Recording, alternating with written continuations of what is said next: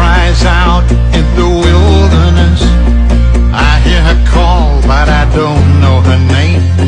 Voice cries again in the wilderness. My name is Palestine and I will remain. She's holding a flag so very high.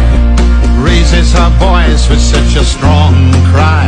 She's a symbol of a people who refuse to die. Says, My name is Palestine and will survive.